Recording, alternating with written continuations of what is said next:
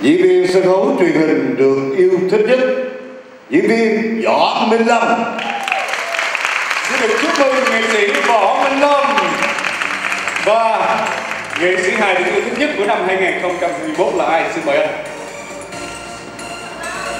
một nghệ sĩ mà tôi rất là thương bởi vì cô này rất là chịu khó, chịu thương, rất là phấn đấu, rất là nhiều trong nghề của mình diễn viên hồng trang Wow!